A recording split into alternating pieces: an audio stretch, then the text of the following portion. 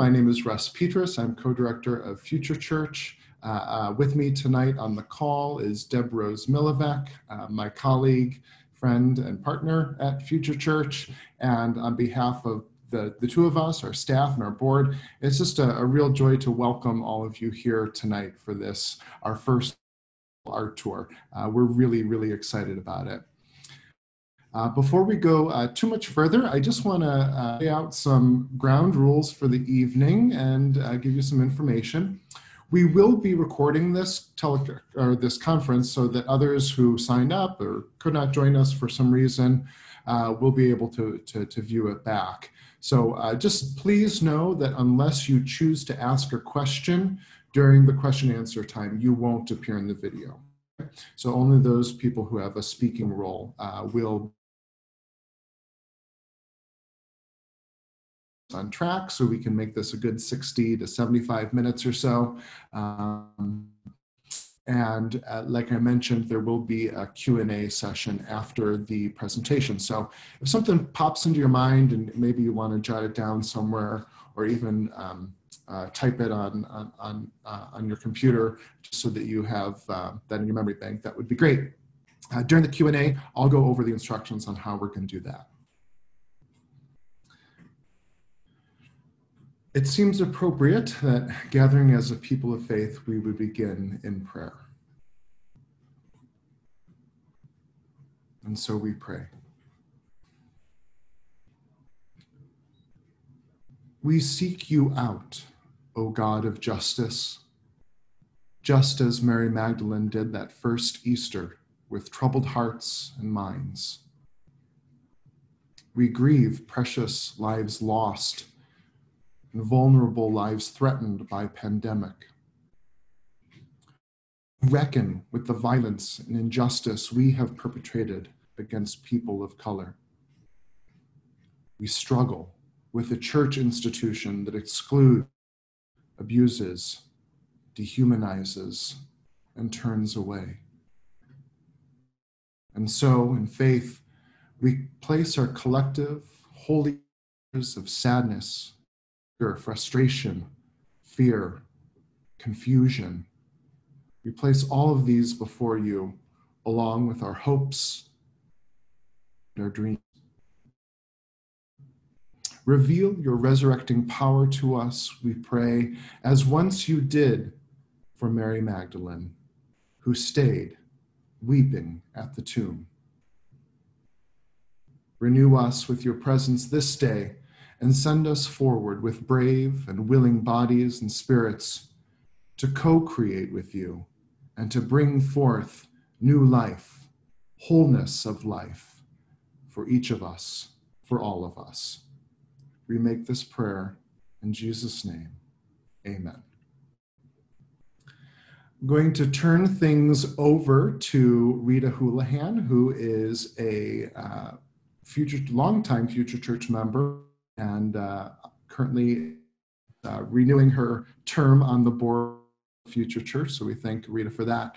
But uh, Rita has been an absolutely tireless advocate for um, restoring the, the true scriptural memory uh, and historical memory of Mary of Magdala. And so um, she's helped us um, put, uh, put this event together and uh, knows Dr better than either myself or Deb, so we thought it would be much better for Rita to introduce her. Thank you, thank you so much, Russ, and it's a delight to uh, see and hear everyone. I just always love hearing all the wide dispersed places um, where, from where Mary Magdalene advocates emerge. Um, so it is, I am absolutely delighted to introduce Dr. Christine Axen, a medieval historian and professor at Fordham, and as of this fall at Manhattan College, my father's um, alma mater, up here in uh, New York City. So uh, Christine earned her PhD in medieval history at Boston University in 2015. She researches Episcopal history, uh, female and female religiosity of the 13th century, um, with a specific interest in mapping sacred place and landscapes, medieval bishops and their sources of power, spirituality and physicality in the Middle Ages, and most relevant to us tonight, medieval legacies in our modern era. Currently, uh, Dr. Axen is developing a project that uses Latin charters or contracts to explore the religious life of the nuns of St. Catherine's Convent in 13th century Avignon, France, with a focus on the relationship between the bishop and the nuns, female religiosity, and sacred space. So I met Christine last November, pre COVID, when I took two wonderful young ladies, uh, former uh, tutoring students of mine, Gigi and Maya, who are forever curious and always wanting to explore. So I said, let's go to the cloisters and let's book a tour.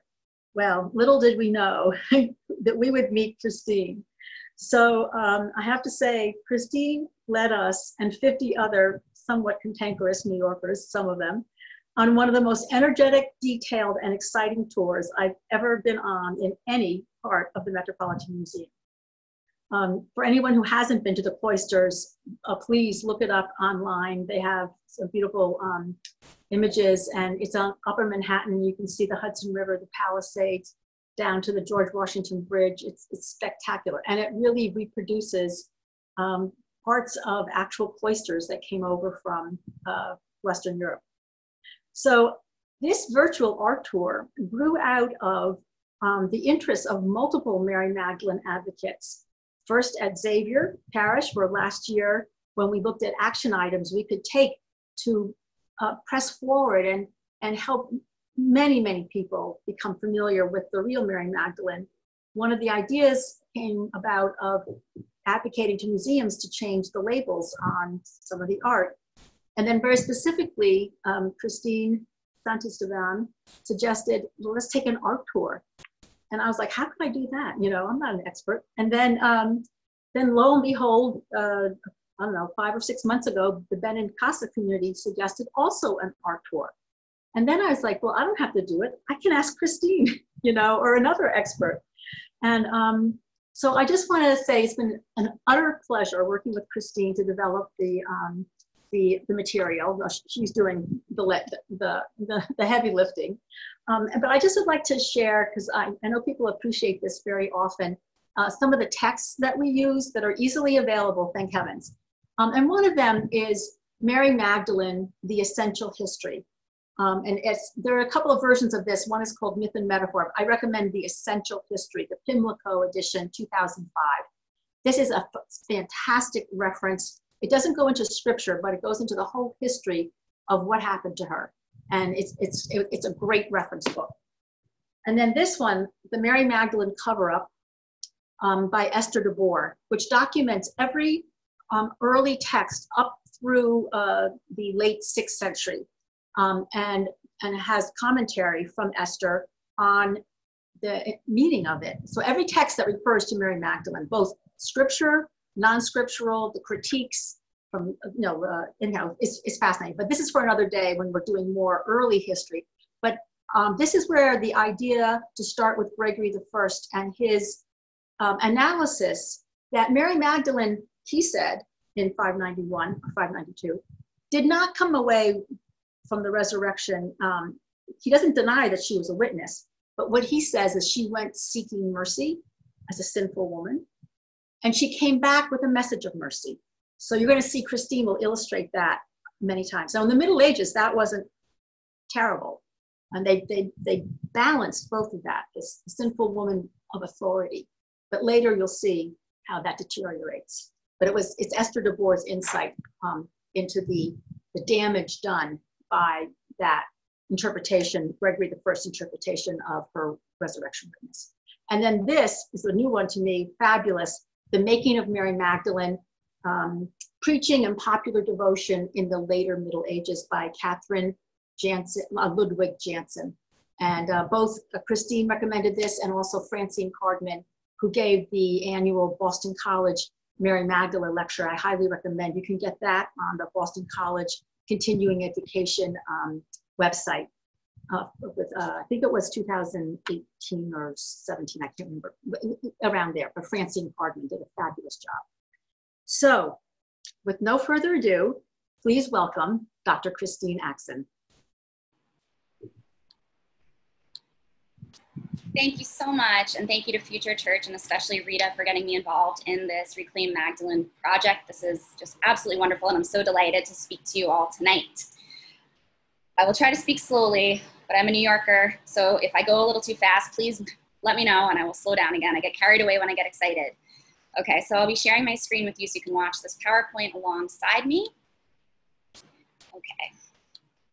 And essentially, what we will do today is to track the change in Mary Magdalene's popular identity from the earliest artwork that we have of her through the early modern period. And the reason that this is useful is because it shows us, in a sense, the kind of living production of Mary Magdalene's changing as we're moving forward and through different historical periods, each of which adds something or removes something from her story. It's important to note also that we are starting off with biblical sources. This is our core of information about Mary Magdalene, and she appears 14 times by her name, uh, 12, 12 times by her full name, and two when she is clearly the only woman present in the four canonical Gospels. And these are written somewhere between about 60, so maybe a generation after the death of Jesus, through about maybe 110 as a sort of end date for the Gospel of John. So they're being written in a community that is understanding its own stories and recording them for posterity. So, from the Gospels, what do we actually know about Mary Magdalene? And I've made a chart here based on Rita's research to just sort of illustrate the points of agreement between the four canonical Gospels. We know that Mary Magdalene was an important disciple who traveled with Jesus from Galilee. Luke says that she was healed of seven demons, and this will come back to be important momentarily. She stayed at the cross at Jesus' death took the very important responsibility of anointing his body after death, which is a practice that was reserved for a close female family member in the Jewish tradition in the first century. She was a witness to the resurrection, perhaps the first, perhaps among several. She was authorized to preach and then undertook that authorized preaching mission. And you'll note that I put arrows where the four gospels all agree. And at the end of the lecture, I hope that you can look back at this chart and see the huge disparity between where Mary Magdalene starts from the original closest to her life sources to where we wind up in the 16th and 17th centuries with depictions of the Magdalene. So just very quickly first, I'm gonna show you two pieces of art that are among the earliest of Mary Magdalene. And you'll note that they do not show her undressed in a penitent, sinful sort of way. This is a woman who is a witness to the resurrection who is being blessed by Jesus. So what you see here are the carved cypress doors of the Basilica of Santa Sabina in Rome. And this is one of the earliest known images of Mary Magdalene and other women who go to the tomb. And this dates to about 400. So this is quite early in the development of the institutional church, right? We're just getting our texts down. We're just trying to figure out the organization and infrastructure of the church as it's growing. Um, it's only becoming a legal, a legal religion in the fourth century. So this is still very new. And so these are seminal images that help us understand how these communities understood Mary Magdalene in the earliest period. So we can see she would be one of the women here, and Jesus is doing a blessing, and this is a really typical medieval hand gesture to indicate blessing. The next image here is an ivory pyx, and a pyx is the container that would hold the Eucharist. And so this is linking the story of the first witnesses to the resurrection with that central aspect of the liturgy, the trans, the um, sorry, the Eucharistic Mass. So you'll see three figures here on the left-hand side, and so you're seeing all around the rounded pyx, which has its little lid. And these women are in a position known as the orans figure, where they have their hands sort of cactused with the palms up. And this is a well-known pagan and Jewish symbol of prayer. They are mid-prayer in this. They're not huddling in fear, they are wrapped in their devotion. And on the opposite side of the pyx, you can see uh, an altar place that resembles or that represents the open tomb of Jesus that is now empty. And the curtains pulled back here are um, indicative of what actually these temples looked like in the Eastern Mediterranean in the early uh, second millennium. So what you have here is this story unfolding around the edge of the pyx. And again, nowhere present here is any penitent sinner. We have the witnesses to the resurrection and the women who go to the tomb. So these are the kinds of images that you see in the earliest depictions of Mary. And then over the course of the next half hour, I'll show you a couple of fluctuations in the styles in which she is being depicted.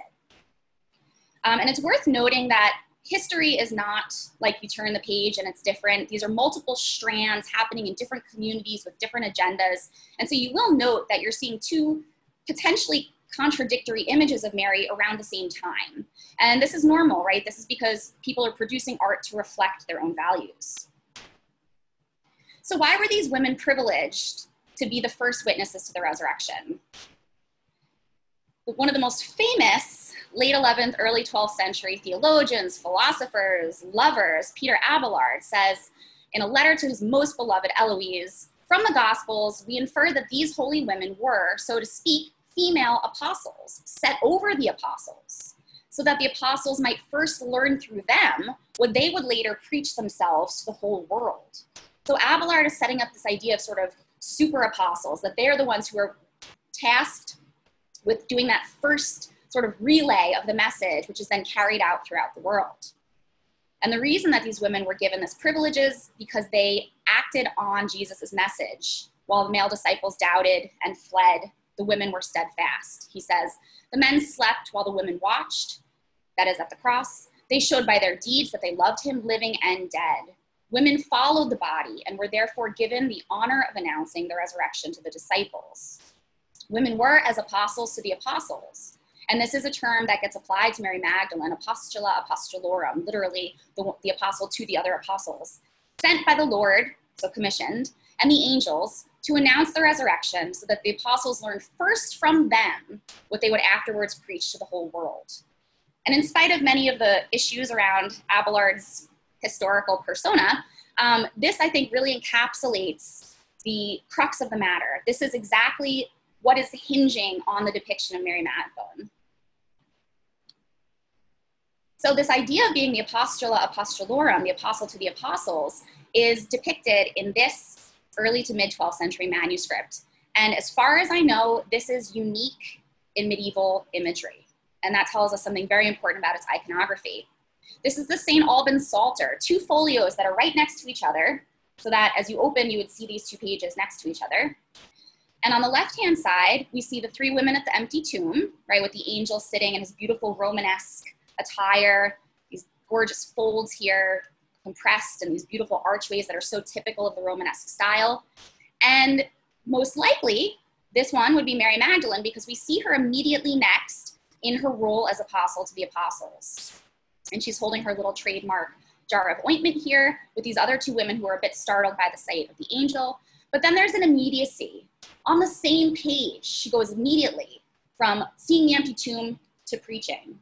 And she is here in an authoritative position, standing on her own on one side of this column, while all the other disciples are crammed into this little space, all of them looking at her so intently to hear her message from Christ directly. And she is standing in the position of speaking to students. This is a teaching hand.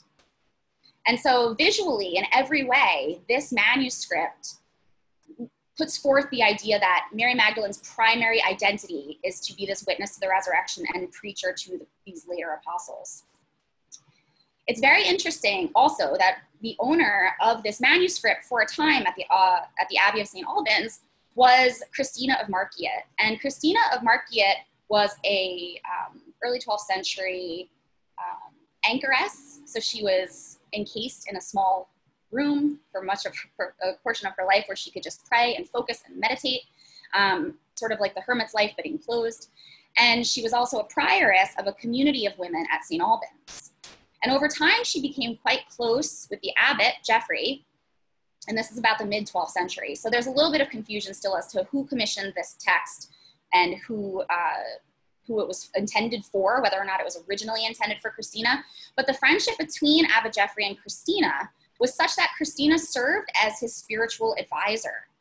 And in many ways, she played a role towards Geoffrey that Mary Magdalene played toward the male disciples. So there may be some deeper significance to the depiction of Mary Magdalene in this text versus all other books of hours and prayer books that we have where we do not see this kind of image. And I'll just note this just stunning little repetitious detail in these Romanesque, Romanesque uh, illuminations.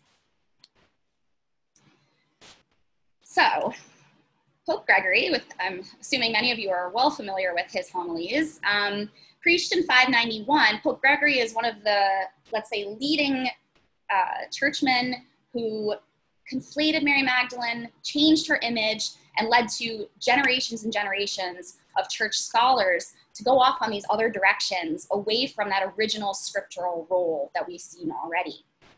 So in this homily 25, Pope Gregory the Great says, Mary Magdalene went to announce to the disciples that she had seen the Lord and told them these things. Behold, the fault of the human race is destroyed in the very source from which it was taken, that is, a woman. Since in heaven it is a woman who has poured out to man the poison of death, it is also a woman who, coming from the tomb, announces life to men. The Lord tells the human race, From the hand that handed you the drink of death, yes, from the same hand, receive the cup of life. So, in this section of the homily, Pope Gregory is actually making Mary Magdalene and Eve two sides of the same coin, much in the way that Eve and the Virgin Mary wind up playing opposite roles to each other, opposite but complementary. And so, if Eve in the Garden of Eden has led mankind astray and promised death and basically ruined everything, then here Mary Magdalene is coming to, with her voice, repair the damage that Eve has done. Now, the problem is not necessarily in this immediate passage, but the comparison between Mary and Eve does become quite pernicious over time. The more Eve gets blamed for that original sin, for that first crime, and for that first betrayal of uh, obedience to God. And we'll see this play out um, throughout the rest of the lecture. So Mary's iconographic image that she's always depicted with is this little jar of ointment. And the problem with this is that because the ointment appears in several portions of the Gospels, the characters that are also anointing Jesus, by virtue of this ointment, uh, wind up coming, wind up sort of um, reinforcing the conflation of Mary with other characters in the Bible. So, on the one hand, we have Mary herself who is anointing Jesus' dead body. We have an unnamed woman in Bethany who comes and uh, washes, sorry, uh, anoints Jesus' feet. We have Mary of Bethany, who is prophetically anointing his feet for burial. And we have Luke's sinner from the city who comes in and weeps all over Jesus' feet and dries them with her hair. So, all of these characters, which are later joined together by a subsequent homily by Gregory, are reinforced by this visual pre- uh, presence of the ointment jar. And so it's also just doing damage by the fact that it is attached to her as her symbol. And medieval people who are by and large illiterate in this period are looking for these symbols to read them to be able to identify the saints and the holy figures who are present. So here we have St. Catherine with her wheel. Everybody knows that St. Catherine, every time you see this ointment, Mary. However, a legend that sprung up in the 9th century and was eventually recorded in the Golden Legend by 1260, which is a huge compendium of all of these saints' lives, and it's comp- compiled by uh, Jacob of Voragine. And just to tell you what a bestseller this collection of saints' lives was, we have over 1,000 extant manuscripts today of the Golden Legend, which is mind boggling for a medieval text. So, so widespread and so beloved. And in the Golden Legend, we have one version of the life of St. Mary, which had been an oral legend and was finally compiled with these other saints. And I'll just give you a brief summary of the first half of it so that we can appreciate these images of Mary preaching. So after the death of Jesus, Mary um, and her brother Lazarus and her sister Martha, um, because the Golden Legend is again conflating her with Mary of Bethany, they all get in a rudderless boat and they're sent out into the Mediterranean with a number of other companions, and they wash ashore in Marseille in southern France, which, if you had to go somewhere, is not a not a great, not a bad place. It's a beautiful wine country. Um, and so when they wash ashore there, Mary, with her disciples, as the text says, gets out of the boat and begins to preach to all of those who are worshiping pagan idols in Marseille. And she pe- preaches to a prince and his family. This is the coterie that you see here on the left. And as a result, she converts them after performing a miracle, uh, enabling the princess to get pregnant. And interestingly, over the course of the Golden Legend, she has three infant related miracles. So she's really being depicted as this kind of motherly figure. So in these images, Mary is actually preaching. And these images show us such an authentic, licensed preaching. In both, she is physically above everybody else around her, right? She has stature that sets her above hierarchically. She's preaching to people who are evidently of high class and nobility, right? So not only do we have this imaginary royalty in Marseille, but we have all of these courtiers. And then here on this side, in the early 16th century uh, Netherlandish painting, here just the most sumptuous fabrics and velvets, and you can really tell that these people are of a notable class. And so the fact that you have this woman preaching to them reflects back on her license to preach and her authority to preach. In addition, she's depicted here literally in a pulpit, right? How much more official can you get? How much more sanctioned preaching can you do? So Mary Magdalene definitely carries the role of preacher as a result of not only the original scriptural sections, but also the Golden Legend, which, trust me, does plenty of other damage, but this is one of the positive outcomes of it. And to come to the famous homily uh, preached in September of 592, this is the section where we have the conflation of Mary Magdalene with the other women and the subversion of her identity to Luke's sinner. So in this homily, Pope Gregory says, the one that Luke calls a sinner, namely the sinner from the city who comes to uh, wipe Jesus' feet with her hair and weep all over them, and that John names Mary, we believe that she is that Mary of whom, according to Mark, the Lord has cast out seven demons. And what are these seven demons if not the universality of all vices? Since seven days suffice to embrace the whole of time, the number seven rightly represents universality. Mary had seven demons in her, for she was full of all vices. So, these original seven demons with which Mary Magdalene was beset were intended in many scholars' opinion, to not show a negative side of Mary, right? She herself is not full of sin in the original biblical version. She is being beset externally by demons, and the purpose of the story is to show Jesus' healing power, not to denigrate Mary. And in this sermon, by conflating seven demons with seven deadly sins, Pope Gregory does perhaps the biggest disservice to her memory and this idea that seven days is a complete time, its universality is, of course, coming from Genesis, right? All the world is created in seven days, it is all time. And then to quote from the text which he's reading, uh, she brought an alabaster vase full of perfume, and standing behind Jesus at her feet, she began to water them with her tears and to wipe them with the hair of her head. And they kissed them and sprinkled them per- with perfume. It is very evident, my brethren, that this woman, formerly addicted to forbidden deeds, had used perfume to give her flesh a pleasant odor. She had emphasized the beauty of her hair to adorn her face, but now she was using it to wipe away her tears. So bring back the eyes of your mind on you, dear brothers, yes, on you, and propose to imitate the example of this penitent sinner. Just a couple of points. First, Luke does not say that in any way was this sinner a sexual deviant, a prostitute, anything sexualized. But such is the tradition inherited from the ancient world, from the Greeks and the Romans, uh, and the early, the early Christian world as well, through the story of Eve, that sensuality and sexuality is at the root of female sin. The body is fundamentally weaker than a man's body. And this idea is taken from Aristotelian logic.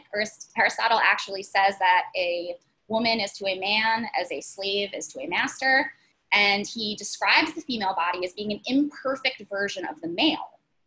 So, from the very beginning, and then as you sprinkle in some of the early Greek medical ideas about how the female body is prone to irrationality and prone to changeability, making her unable to hold government position, to preach.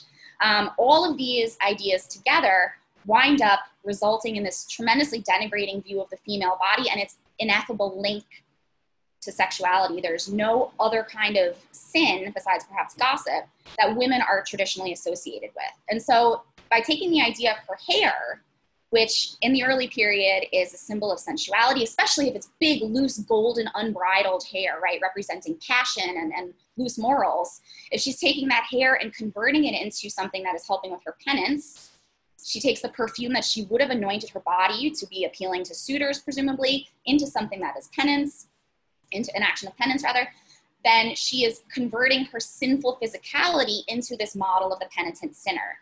And at the end, Gregory is so pointed. This is an example that we should follow. And so everything else that Mary Magdalene is or has been is now subsumed under this vice filled sexual sinner. The second part of the Golden Legend involves Mary Magdalene pushing back against this sexuality, pushing back against all kinds of um, bodily appetites and, and pleasures of the earth. And she goes into the desert as a, red, as a recluse. Um, this is outside of Marseille, outside of Aix rather, in, in an area called Les Baumes.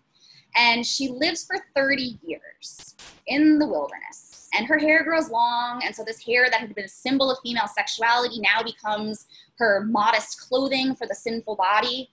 And we start to see a lot of depictions of Mary being levitated by the angels who every day on the canonical hours would bring her up so that she could eat heavenly food and not have any need of physical food. So, again, the true denunciation of the female body. She doesn't even need to eat to feed it. She is pushing it down, enabling her spirit to rise closer to God by rejecting the physical. And so here we have three images, um, increasingly dramatic almost. And the Donatello image that you see here is almost devoid of all female characteristics, right? She looks rather androgynous. She looks gaunt. She looks haunted by the fact that she has been living in the wilderness in constant penance, just constantly repenting for the sexual sins that drove her there. And so this is another example of sort of the hair converting as Mary Magdalene's role is converting. But you would be wrong if you thought that this was the only Mary who was ever depicted covered with hair. And so this is another factor, just like the alabaster jar, that sort of reinforces these, mo- these models of Mary Magdalene, sort of pushing her towards this composite figure when in fact we should be peeling these pieces back. What you see here is an image of Mary Magdalene all the way on the left, right? She has her alabaster jar. She is veiled, as in the earliest models of images of Mary. And here we have another Mary fully coated with hair. I read an article where they called her the Hairy Mary. And this is Mary of Egypt. And St. Mary of Egypt is uh, a fourth century um, eremitical woman. She goes out into the desert just like Mary Magdalene um, and finds her salvation there. But before that, she is a prostitute who not only pays her way to Jerusalem to go see those sites there using sexual favors, but also enjoying them. And so she's that character that is not only pushed into a life of sin, but seeks it out. And so the more we focus on the life of St. Mary of Egypt, the more that then reflects back onto the life of Mary of Magdalene. Mary Magdalene, sorry. And so this sensuality becomes a, a seminal aspect of her identity. And again, in Homily 25, Pope Gregory the Great says, Mary, the one we are talking about, may here appear as a witness of the divine mercy what we see in this, my brethren, we must, sorry, what must we see except the immense mercy of our Creator who gives us, as an example of penance, so again, that same model that we're supposed to imitate, those whom He has revived through penance after their fall. I cast my eyes on Peter. I consider the thief. I examine Zacchaeus, a tax collector from Jericho. I look at Mary, and I see everywhere only examples of hope and penance exposed to our eyes. Look at Mary, you who, consumed by the fire of an evil desire, have lost the purity of the flesh. She has burned carnal love in her with the fire of divine love. And so instead of the witness of the resurrection, the first apostle, we have this example of Mary who is dependent on God's mercy. And so instead of being a story about Mary seeking out God, it's a story of divine mercy, which means that she does not necessarily ever get over the sins that she has committed. And so here on the left, we have Mary of Egypt again. Here on the right, Mary Magdalene. And in both of the stories, we have a male cleric coming to these women in the wilderness, stumbling upon them sometimes. Mary Magdalene living in a cave, as you can see on the right, covered with a scarlet hair. Um, I'll leave the red hair to, for you to discern. Um, and in both cases, male clerics come to them and give them clothes to cover their sinful bodies. So you can really see how the life of St. Mary of Egypt is now impinging on the life of Mary Magdalene. So one more portion of the story that often gets depicted, and I think this might be one of the most um, perilous to Mary Magdalene's identity, um, except for the repentant prostitute, of course, but there are several negative depictions of this. This is the Noli Me Tangere. So the Noli Me Tangere is the scene in the Gospel of John, which I'm sure you're all familiar with, um, where Jesus says, Don't touch me, I have not yet ascended to the Father. And the problem with the Latin translation from the Vulgate, which is the Latin Bible, of Noli Me Tangere, is that Latin is a much smaller language than Greek. It has a much more straight laced vocabulary where one word will serve to mean many things. And what this does is it strips the word touch of all of the nuance that the original Greek has. And so by saying noli me tangere, it sounds quite aggressive. Don't touch me. And so you start to get the sense that Mary is not worth, she's not worthy to touch Jesus, again, reflecting on the sinfulness of her female body. And in this image, it's mixed, right? We have Mary and Jesus kind of both at the same level. They're not necessarily subordinated one to the other. They're both dressed in these beautifully decorated Romanesque ivory carved folds with um, beautiful um, hems. And yes, Mary is wearing a halo. Jesus is reaching out as well as sort of scooting away from her with one foot heading out the door, and yet his hand is in the traditional image of blessing. So he's not pushing her away, resisting her touch. He's still in the process of blessing her. And I know one of the agendas of Reclaim Magdalene is to address some of the errors in the way that these art objects are portrayed in museums and in private collections. And so the fact that this one is called the Noli Me Tangere, when you look at the Latin up here, this translates to Dominus loquitur Mariae, God or the Lord speaks to Mary. So this, although it's depicting the Noli Me Tangere, what is more important is that Jesus addresses Mary. The resurrected Christ is in conversation with her. And I think that that is a nuance that should appear somewhere in the caption for this object. We have another Noli Me Tangere, which is a tapestry um, from around 1500 in the Netherlands. And this too is showing an image that is depicted as being somewhat aggressive in the actual caption for this, which is at the Metropolitan Museum of Art. The caption says, Christ raises his right hand, commanding Mary to keep her distance. Is that what you say?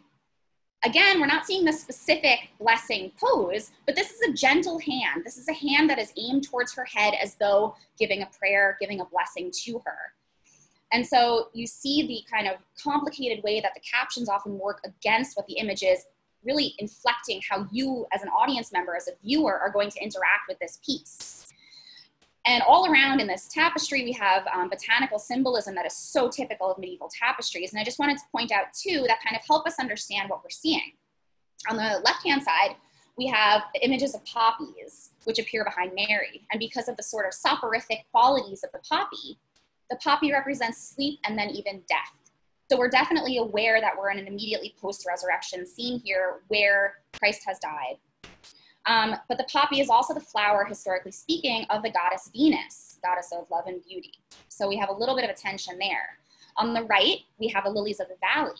And the lilies of the valley, although present in the Old Testament book, the Song of Songs, which Mary Magdalene is occasionally equated to the bride in that, in that, in that book, um, the lily of the valley also represents the Virgin Mary's tears at the crucifixion and also Eve's tears at being exiled from Eden.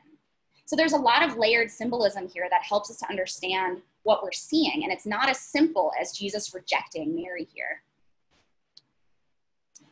The Noli Me Tangere then takes on a more aggressive form in public spaces. And this is something that I think is really worth exploring by scholars. Um, what you see here are two chapel paintings. You have an altar on the right, and then in the Scrovegni Chapel in Padua, a big fresco by Giotto or by his, um, his school. And in both of these, the Noli Me Tangere feels much harsher than the earlier ones that I just showed you, right? Jesus is using the flat of his hand to push back against Mary. And the hierarchy is so evident. Jesus is looking down at her in every way. So these depictions then reinforce that sense that Mary is not worth touching Jesus. Her body has, has turned her so sinful that she is not worthy of touching the hem of his clothing. And here she is depicted in red. And in the Middle Ages, red was a symbol of charity. It was not necessarily a symbol of passion or arduous love or romance or anything like that. It is a symbol of caritas, good love, love, um, selfless love. So between these two versions, which would be in public, where people would go to chapel and see them, where you would go up to the altar and see them, they're broadcast in your face, likely commissioned by the upper class, by the church itself. These contrast deeply with the more private devotional objects of Mary Magdalene. And here you have two more Noli Me Tangeras, but these are much softer. These are much more gentle in a way. So on the left, you have a late 12th century image um, from a book that's actually just a compilation of illuminations at this point. They've been cut out from their main uh, prayer book and sort of stitched together so you can just flip through the, the images. Um, and you can see by the complementing colors between what Jesus is wearing and what Mary Magdalene is wearing that they're meant to be understood as a pair. It's not a hierarchy one to the other, even though he is slightly bigger um, and he is looking down at her. They are sharing eye contact. And I think this is really important about the intimacy of this moment. This is not Jesus rejecting Mary. This is an obvious blessing. And then likewise on the right-hand side, in early 16th century, uh, the Poncher hours at the Getty, again, Mary Magdalene is anything but abject, like she was crawling on her hands and knees in the previous image. She's dressed like a queen. She has a beautiful golden halo. Her long golden hair is straight is draped all over the sumptuous robe that she's wearing. Jesus, triumphant, dressed in gold, giving an obvious blessing and looking down at this woman that he loved. It's also important to note in medieval, oops, in medieval um, placement of miniatures and illuminations that where they are in the book and what text they're next to and the order in which they appear is a second way of reading a medieval manuscript. There's often a funny play going on between the images and the words. So here, this image of the Noli Me Tangere is not the only image of Mary in this Psalter. We have one beforehand, and we can presume that this is her because she's again in blue, and she's actually blessing the empty tomb here. So she has an authoritative role again. And it's not only the witness of the resurrection, but also this first at the scene kind of um, role that she's playing, this privileged role with these other two women. And the angel looks pretty pleased with himself, I think, in that one. And then likewise, um, in the Poncher Hours, we have three images of Mary Magdalene. And just keep in mind that these are done by different artists in the same codex. We have Mary Magdalene in a Noli Me Tangere here, where she and Jesus are at eye level with each other. He has sort of an open palm showing her the wound. In no way is he pushing, right? He's sort of just indicating. Um, she has her classic little ointment jar there. Then the scene I just showed you. And then here she is with the Virgin Mary. And again, there's a sort of parallelism going on between the way Mary Magdalene is dressed and the way the Virgin Mary is dressed slightly different because of course we have to have that classic pink and blue for the Virgin Mary, but their necklines are the same, their physiognomy is the same, their hair is the same, and their crowns are almost the same. So in a sense, these two women are being depicted on the same level. So this these devotional private objects, and this one is especially important because it belonged, oh sorry, no. Nope, that's the next one. Um, so these devotional objects, which would be used for private use, show a very different kind of noli than the ones that are in public spaces. Then, of course, we move on to the repentant prostitute. Here we have Mary Magdalene in the wilderness. So this is from the Provençal legend, right? She's out in the wilderness for 30 years, and we can see that up here, she's being levitated hourly by the angels to be fed from this little hand of God that's blessing out of the sky here. But she is shown in a completely different demeanor.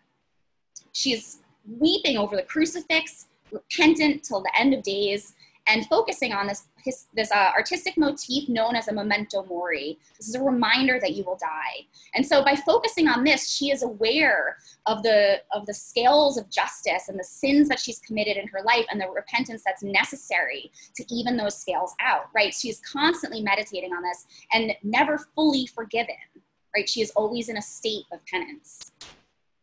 And again, of course, the uh, physicality of her nudity is going to be an increasing factor over the early modern period. What's interesting, especially about this, and this is um, actually a miniature by one of the most famous miniaturists, Simon Bening, like the last great miniaturist. Um, and this was actually in a prayer book for an abbess. And what's interesting about that is this does not strike me necessarily as being typical for a female audience if we compare it to the Psalter that was owned by Christina of Markyate, very, very different depictions. And yes, time has passed, but also the, the kind of audience has not necessarily passed, right? We're still dealing with women who are in positions of authority in monasteries. So it's a very interesting change that only becomes truly magnified. Um, and here, of course, we have the famous Titian painting of Mary Magdalene, where she's got that curly blonde hair that is suggestive of her loose morals, right, of her sensuality. And she does not seem to get the point of covering herself with it, right? So we're of course dealing with this very voyeuristic, sexualized woman, which frankly, if she didn't have her little um, her little jar of ointment in the corner here, we would not be able to confirm that this was a portrait of Mary Magdalene. So Titian has just provided us with this sort of throwaway iconographic nod. And she's in this dark, cloudy background as though lost in turmoil, this searching constantly for clarity and peace. So again, this always penitent woman who's been deeply, deeply sexualized. Um, and then here on the right by Dirck Bleker in the mid 17th century, we can see the Mary Magdalene in the cave, right? There's just this little slit to see the outside world. So again, she's in this sort of tenebrous, evil space that is just dark and pulling at her soul, worshiping this crucifix or venerating this crucifix here in her hand, turned at an angle. And again, you know, undressed in a way that is titillating to the audience, but not at all related to Mary's original role. And her eyes are full of tears, and she is just in absolute abject misery here, atoning.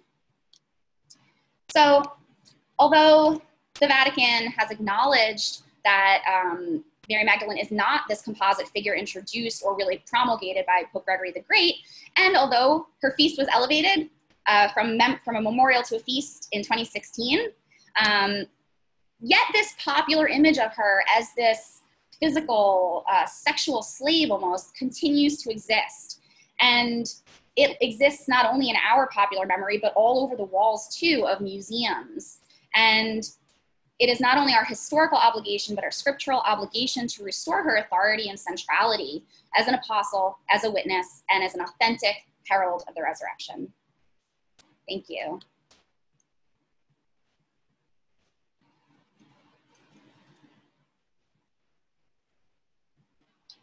Are there questions? Oh, sorry, Russ, are you? Yeah, so thank you, uh, Dr. Axen. That was just, I hate to use a pun, but that was very illuminating um, and, and very, um, a very um, wonderful way to trace um, all of that art through history. Thank you so much.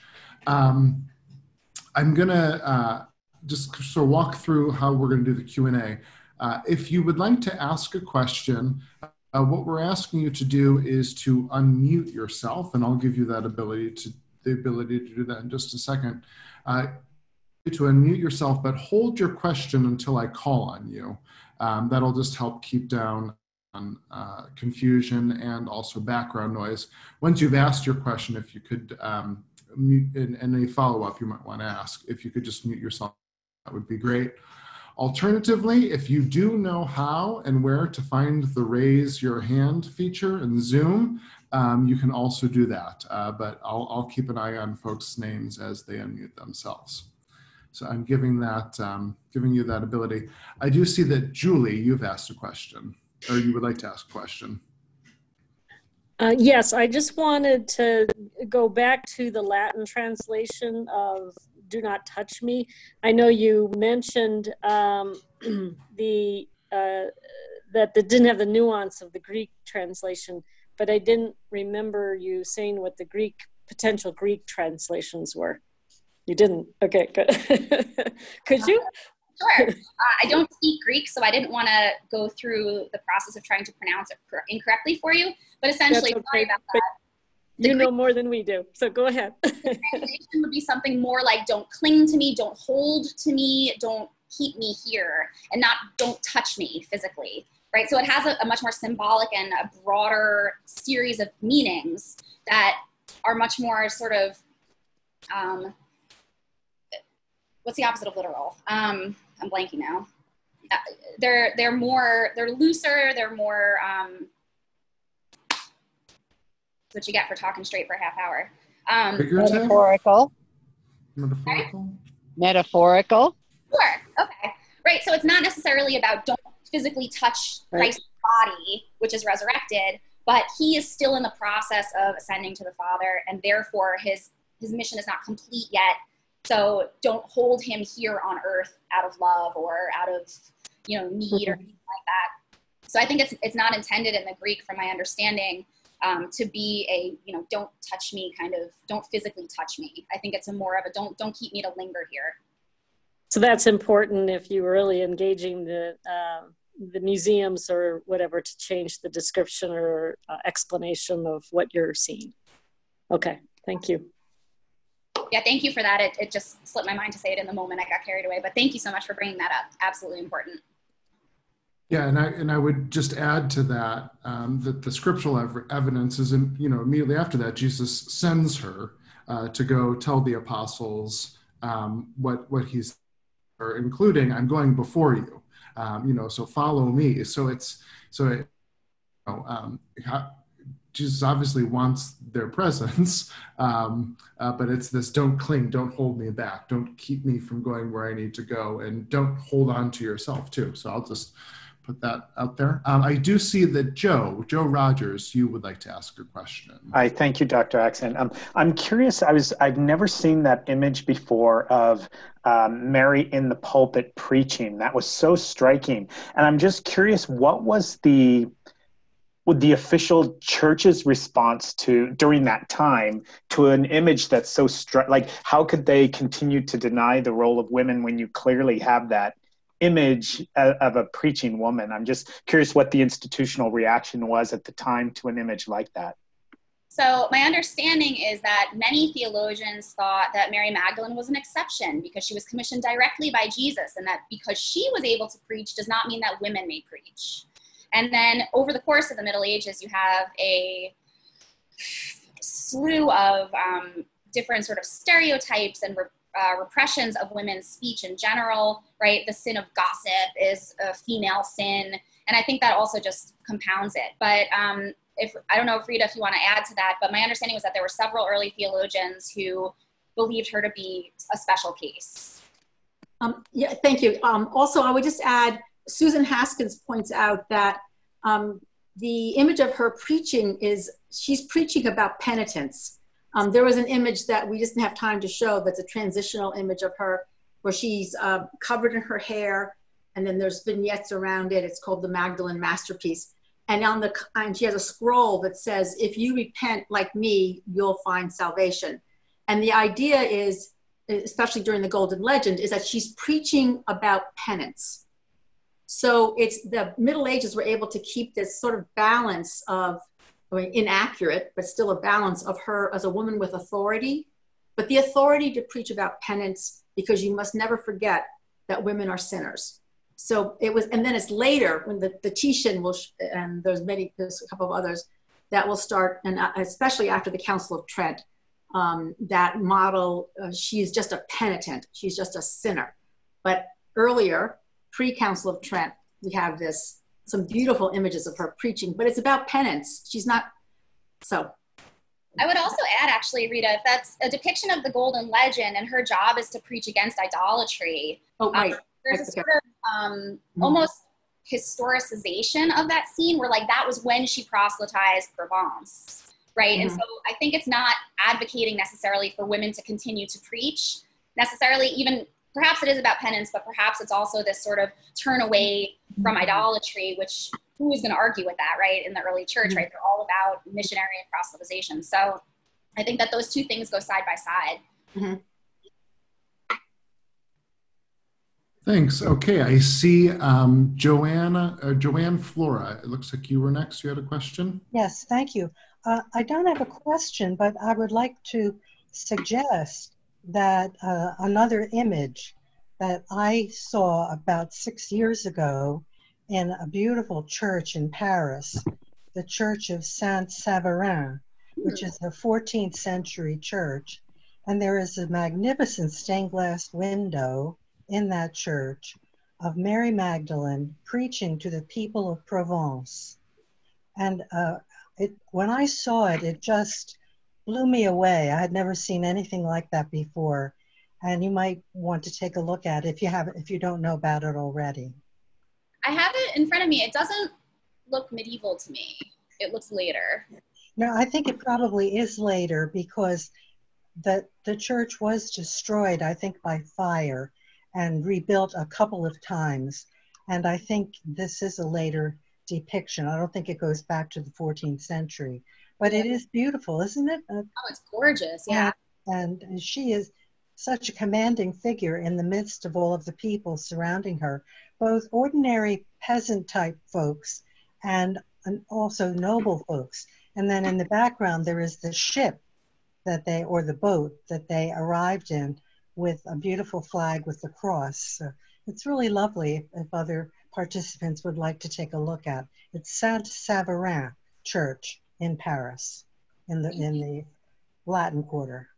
Thank you so much for that. Um, it looks to me like it's a 19th century window, and it reminds me actually of a huge um, group of images of Joan of Arc in the Orleans Cathedral. Like it looks a very, it's a very similar style of these heroic women sort of in the midst of these crowds doing their preaching thing that they were doing, you know. Thank you so much. You're welcome. Thanks, Joanne. Uh, Christine Schenk, Sister Chris, I think you had a question. I did. And um, I just, and I know this isn't the topic tonight, but I do want to recall that in the Eastern Church, Mary of Magdala did not ever get the repentant prostitute, but was always honored as the apostle to the apostles. And I just wonder if you knew of any art, how that developed in, in a trajectory in the East. And I Mm, should say thank you. This is fabulous. Um, no, I don't have a specific trend to think of. I know that they that she was never conflated with Mary of Bethany because they retained their separate feast days. Um, but I don't know what kind of iconography there is in the East. Uh, I'll pass it to Rita if you're familiar with any pieces of art. Not really, but thank Yeah, no, I, I just know some, you know, flat, you know, front-facing Mary Magdalene's with a, with a jar of ointment. Um, but it's interesting that there aren't images of her preaching. Um, yes, but she was never conflated um, with as the sinner. right the vast majority of images of mary magdalene are those kind of static two-dimensional uh, you know and in the east they're more of the, the relic style they're not the relic style the icon style. Um, but in the west as well you have these tableaux that are in altar pieces that are just saint after saint after saint after saint. And so most of the images of mary magdalene are just kind of her standing there holding her ointment and not acting in anything. So i think these are really unique. And it was quite difficult actually to find enough pieces. I mean there are a couple that we didn't we didn't show but by and large, she's not doing the things we want her to do in the art, you know? So Thank you. Thank you. Okay, just a couple more questions I think we have time for. Is that okay, Dr. Axen? Okay. absolutely. Uh, Kathy and uh, I think it's probably just Kathy Kidder. Yes, I'm wondering if any of the images show her as um, less um, European. Are there, uh, that would, I suppose, be in the later era because some of the early ones are in wood or stone. But um, it, it, are there, is there any uh, art in that vein? that shows More Mediterranean looking woman? not that I know of. There are some depictions of Mary of Egypt where she looks more appropriate for where she's from. Um, but nothing springs to mind about Mary Magdalene except for, of course, the uh, the work that they did with the relics um, that recreated her face structure recently. Um, so in that she looked quite Semitic in that, and they did all kinds of tests on the hair that was in the reliquary. Um, so other than that modern piece, I can't think of anything that that celebrates her origins. But this is a problem, of course, that we have with most of the biblical figures, right?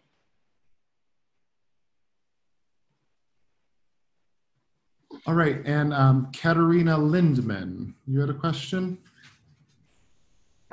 Yes, I noticed in the um, the picture with Mary Magdalene at the pulpit, it looked like she was kneeling. And do you think she's kneeling? And does that sort of fit in with this? She's a penitent uh, preacher, preaching about penitence.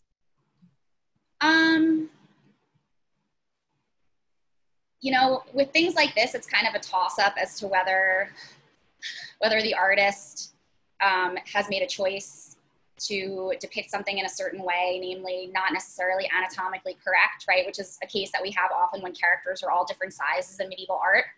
But I don't know. It does look like it, but you don't see her feet, so I wouldn't know if it was intended that way or not. Um, it is a panel painting and an altarpiece, so it, it is kind of constricted. And sometimes in medieval art, you just you see things that are weird because they're dealing with a certain space. But if anybody else thinks that um, thinks something else, I, I would be happy to be convinced. Mm-hmm. Yeah, for me it was a toss up. I was like, is she is she kneeling or is she standing? And then when someone said um, about her teaching penance, I thought, well, maybe she is kneeling and it is symbolizing that. It's a great point. Absolutely. Yeah. Um, and I may go back to the Golden Legend and see if there's anything specific. Um, somebody in the chat asked about a reliquary, Russ. No, but I, I wanted to ask about um, the original, some of the original images you showed, and you say they depicted Mary Magdalene. How did you know that? Um, it was hard for me to be able to discern necessarily in some of those first couple that the woman depicted was Mary Magdalene. Well, in the scenes of them, these are the women who are going to the tomb, and Mary was one of them. So I don't know which of the three is Mary Magdalene. The only reason that I suggested one of them was the woman at the tomb was the Mary Magdalene, and this is in the St. Albans Psalter, is because she's dressed identically, and that's a that's a visual cue by the illustrator to let us know that it's the same character. Um, and then later on, there's a scene where the first woman there holding the ointment is dressed in blue, and then Mary Magdalene right. is in brown. So I'm just suggesting, based on the way the artist is portraying it, I'm not saying that that's 100% necessarily Mary Magdalene, but at this point, she is going to be perhaps the most famous. I mean, she has a cult growing. She she's the patroness of so many things of lepers of all different um, religious groups and flagellant groups, and the Franciscans are you know enamored with her. So I would say that she's by this point, by the late Middle Ages, the most famous of those three women. But even on on the on the wooden panel, I think that was the very first one you showed. Oh, in Santa Sabina. Yes. Right. It's just it's Christ blessing the women who had seen him at the tomb, which is uh, is two panels up as the women at the tomb. So okay. It's just, a, it's just a parallel image of the same characters. Okay. Um, can I? Oh, the reliquaries. Sorry. So can I just touch on that quickly? Mm-hmm. So there, there are reliquaries um, purportedly holding relics of Mary Magdalene. There's a whole story, um, but this is one that was um, in a church in Provence where in the 13th century, um, one of the kings of Naples discovered these tombs, and the tomb that he discovered was underneath the tomb of Bishop Maximin, who is the one who takes the boat with Mary, and he's the one who buries her and gives her her last Eucharist when she comes out of the wilderness in the Provençal legend. And um, they put the remains that were in there in a reliquary. And then the last couple of years, I believe in 2017, they subjected it to all kinds of analysis and they built out a face based on the bone structure, based on what they know about pore size and, you know, um, little, uh, like the lip, lip width, uh, lip thickness. I don't know, all of that of a woman of 50-ish years of Semitic descent, and they actually did um, some DNA testing of the hair and the bones, and found that the woman was consistent with a haplogroup that is very common among Semitic populations. So there's also a reliquary even in the Met. Um, I don't know if it's the Met or the cloisters that purportedly had a tooth of Mary Magdalene's. I believe it's a big, tall thing. So there are false relics all over the place from the Middle Ages. Um, and I am not qualified to say whether the ones found in Provence were false or not, but uh, it's a way of drawing economic traffic and pilgrims to, to monasteries and churches and basilicas. Um, could I answer? Uh, somebody put it in the chat. There are two things in the chat I'd like to um, like reflect on. Um, let me make sure I have the first one. So, who is to blame for Mary's downfall in history? Uh, the answer is well, uh, from the reading I've done, and Chris Schenk can add to this, and so could Christine and uh, other scholars. But yes, Gregory started it. He wasn't the first to suggest that she could be somebody else. She could have been blended. You know, um, Augustine and Jerome, they they contemplated, but no one uh, put all three women together: Mary of Bethany, the sinful woman, and Mary Magdalene. Um, and uh, but there was plenty before that. Ambrose, Augustine, they were they were very much into you know just what Christine said about uh, the female body, the, the Aristotelian image of the female body. So they ignore Jesus's uh, inclusion of women in his most intimate circle, his his commissioning of women, trusting them with the most na- most important message, resurrection. So they these men, these church fathers, ignore that information and they go with Aristotle's view of women as the and and they they bring it to another level by making your salvation um, depend on you being celibate and therefore women are a problem. So you, you get before Gregory, you you have a lot of antipathy, building, building, building, and it's women's fault, and it's all because women exist in their bodies. I don't know where else we're supposed to exist, but that's that's part of it. So Gregory brings that his abbey. They studied Augustine at his abbey. So he brings that information up into the sixth century, which was a mess, full of corruption, and he needs somebody and, and he preaches about penance and he, he includes other sinners not just mary magdalene but the big focus is mary magdalene but then as christine illustrated the golden legend really took it to the, the next level and um, the golden legend was emerged from you know bede's uh, bede's uh, uh, what do you call that analysis of luke's gospel which basically he used gregory's analysis of luke 7 36 of the penitent woman. And then, um, and then that was uh, Odo Cluny you know, expanded on that and began a little bit of the legend. And then by the 11th century, there was so much interest in her and there were shrines to her and you could really make money. And in Vézelay, where um, they claimed, all of a sudden, they claimed to have her body. Um, and, uh, you know, and of course, there was the legend of her being uh, cast, cast off from uh, the Mediterranean, the coast of Israel, and landing miraculously in southern France. So, so it was really money, and there, there could be a whole interesting lecture on how the church has made money off of Mary Magdalene, um, which I wouldn't go into now. So it's a combination. It starts with Gregory, but he was influenced by people before him, and it's expanded um, into a money-making proposition um, with the multiple shrines, most especially Vézelay and then Baume, where the her- hermitage was supposed to be. And they, it just went on and went on. And it was a very useful. So that's another topic. How useful was it to remove this challenging image of a woman of authority um, in the midst of a, a Roman Empire based hierarchy? So that's that's a short answer for that. I think also part and parcel of it is what are the appetites of people who are performing Christianity at this point. And so Mary as the hermit who is, you know, denigrating her physicality, who is, you know, who is not present on this earth except until she can be freed, um, who is living in the wilderness, who is pursuing something that is separate from urban life, all of this. This is dovetailing really well with a lot of the changes that are happening in lay piety throughout the Middle Ages. And so she becomes increasingly appealing through her image in the Provençal legend to the point where you have people like the Franciscans who are, can now emulate her, or you know the flagellant groups who pick her up as a patroness. And so this is also, it's, I think the the error might be to think that the church is imposing a certain thing when sometimes it's the appetite of the people that are driving that. Yes, so yes. Both things hand in hand. Mm-hmm. What's happening in what's happening in Christianity at the moment, in as much as what authority is saying she is. And so these mm-hmm. both, two things together are, pro- are providing this push forward. I think. Mm-hmm. Um, Rita, there was a question about um, the, where is it? The uh, question of whether or not Mary Magdalene was a widow. I don't know anything about that. Um, there, we don't know. I mean, she could be, uh, uh, though it'd be interesting why she wasn't named by in relation to her husband, her deceased husband.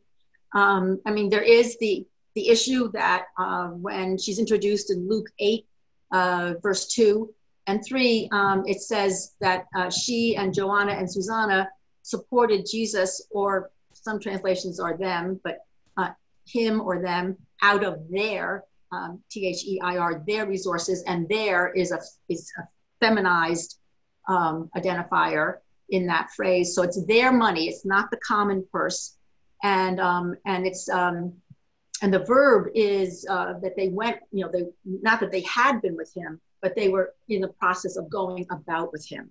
So, um, so it, she had money, and it, we know that some in the Roman Empire, women could have businesses. Some of them, depending on if they had somebody who could sign for them, I mean, Julia Felix, who Chris Schenk made sure we, we, we met in uh, Pompeii.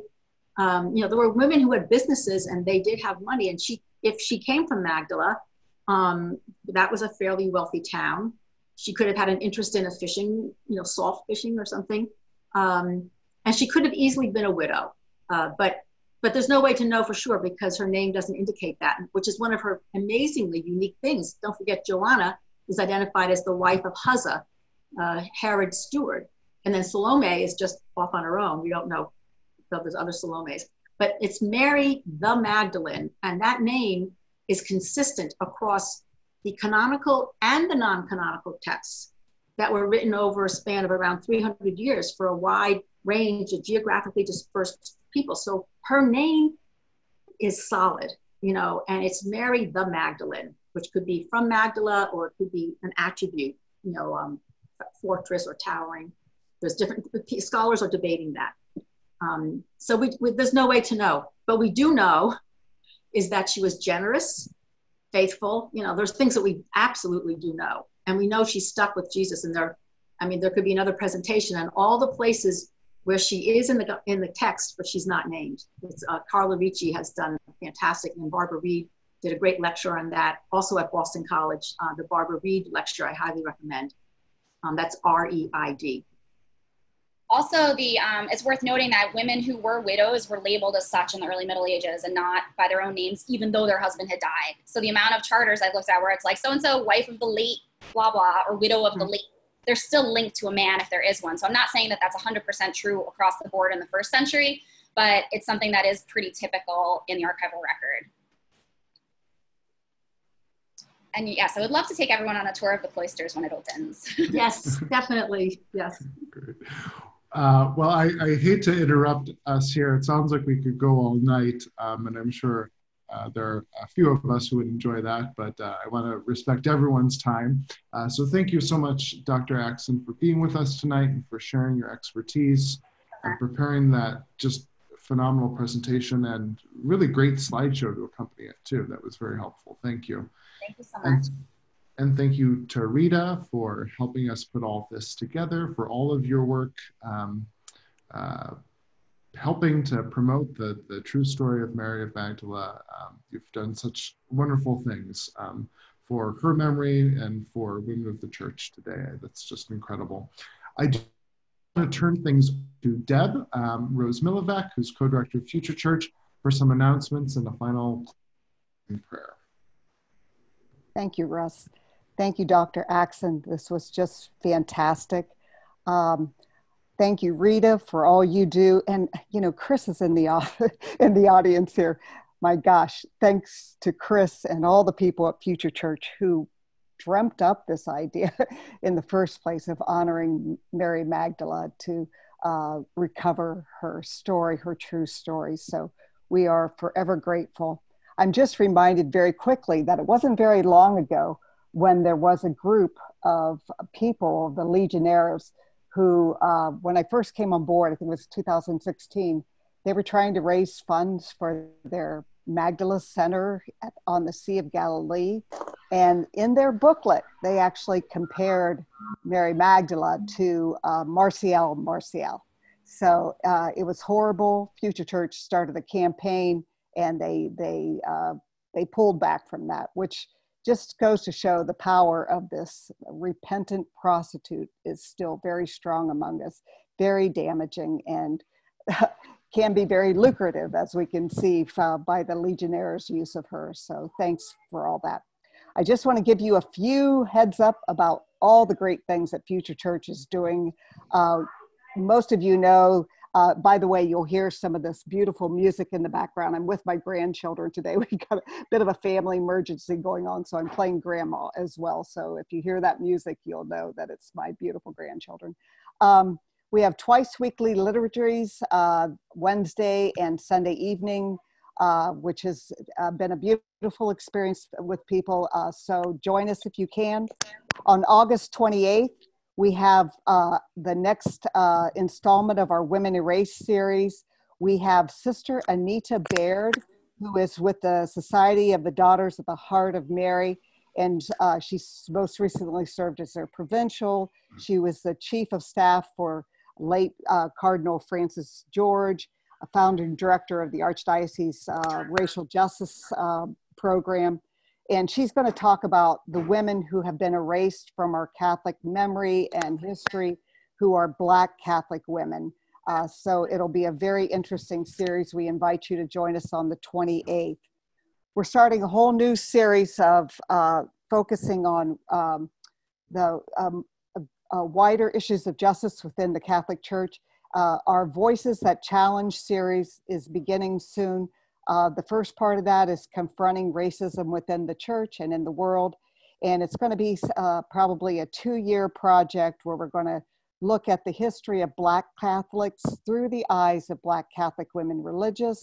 Uh, the project is under the guidance of Dr. Shannen Dee Williams, and it's going to involve a lot of really great things, including resources, gatherings, presentations, original art, and just a whole lot more to bring awareness about the legacy of racism within the Catholic Church, but also how do we advocate for change? How do we advocate for reparations? So there's a, it's a, a, a going to be a, a series of great resources and we look forward to sharing that with you. We'll have our first real presentation in this series on September 15th. Uh, and it'll be with Dr uh, Tia Noel Pratt. She is a sociologist who specializes in systemic racism within the Catholic Church and how that racism impacts African American Catholic identity. So it'll be very interesting to have her kick off that whole new project for us, and we're looking forward to um, lots of good material there. In the fall, we have our fall event, which is going to change this year, of course, with the pandemic uh, and so forth. Uh, so instead of an in-person uh, event, we're going to have um, virtual events like this, and we see how great this can be. We have lots of people joining us. We hope you'll join us for a fall event where we're titled. It's titled uh, "Making Sense of 2020: Being Church Today," and uh, so we're commemorating our 30 years of working for reform. Uh, and so the first part of that will happen October 22nd with uh, Dr. Cecilia Gonzalez Andrieu, who will be talking about, um, uh, you know, she's going to take on this topic of, you know, making sense of what's been going on uh, this past year in the Catholic Church in terms of, you know, all the various issues that we're facing, especially as people of color, as people, women who are trying to uh, gain our full uh, acceptance within equality within the Catholic Church. And along with her that night, we're going to give our Christine Schenk Young Leadership Award to Doris Reisinger. Uh, Doris was a nun who, um, I'm going to have to move because I can, oh, there's stuff, uh, who, um, hold on, I'm sorry. I'm going to have to ask somebody turn that off. Hey, no, I'm on the, I'm, I'm on the phone here. okay, uh, sorry about that. Um, so Doris is a, is a um, a scholar who was uh, famous for her 2018 Voices of Faith event uh, talk, where she talked about her uh, abuse by a high level uh, congregation for the Doctrine of Faith official who resigned after she told her story of rape and abuse by him. And so she continues to advocate in this area, and she's a very, very um, powerful woman to listen to. So we're, we're looking forward to that. And then on the 27th, uh, we have uh, uh, Bryan Massingale, Father Bryan Massingale, who uh, will get our Louis Trivison Award. He is a professor at Fordham University, has written Racism and the Catholic Church. He is one of the most prophetic uh, voices within the Catholic Church right now in terms of our um, our work for um, the needed work uh, to uh, become anti-racist within our church and to heal the racism that uh, has affected us so deeply. So that's a bit of what's going on. We're always cooking up something new, so uh, stay tuned for new things coming up. Uh, so I, right now I'm going to lead us in our final prayer. So as we talk about Saint Mary of Magdala. Um, I led this prayer uh, this past Sunday with the Catholic Women Council, which was uh, a gathering of women from all over the world led by the Indian women theologians. And so I will pray with you. Dear God, like St. Mary Magdala, please make us prophetically dangerous women and men. May we be women and men who acknowledge our power to change and grow and be radically alive for God. May we be healers of wounds and righters of wrongs. May we weep with those who weep and speak for those who cannot speak for themselves. May we cherish children, embrace the elderly, stand in solidarity with those pushed to the margins, and empower those impoverished by unjust economic, social, and political structures. May we pray deeply and teach wisely. May we, may we be strong and gentle leaders. May we sing songs of joy and talk down fear. May we never hesitate to let passion push us, conviction compel us, and righteous anger energize us. May we strike fear into all that is unjust and evil in the world. May we dismantle abusive systems and silence lies with truth. May we shine like stars in a darkened generation. May we overflow with goodness in the name of God and by the power of Jesus the Christ. And in that name and by that power, may we change the world. Dear God, like St. Mary of Magdala, please make us prophetically dangerous women and men. Amen. Amen. Thank you, Deb. And thank you again to all of you for joining us. It was just a lovely evening and uh, a great way to spend a Tuesday night and uh, to sort of bring our celebration of Mary of Magdala this year to uh, close for now. Um, but uh, certainly, as Deb said, keep your eyes open because we're always cooking up something new. So great to be with all of you. Thank you for your support and for your encouragement and for joining us tonight. Be well.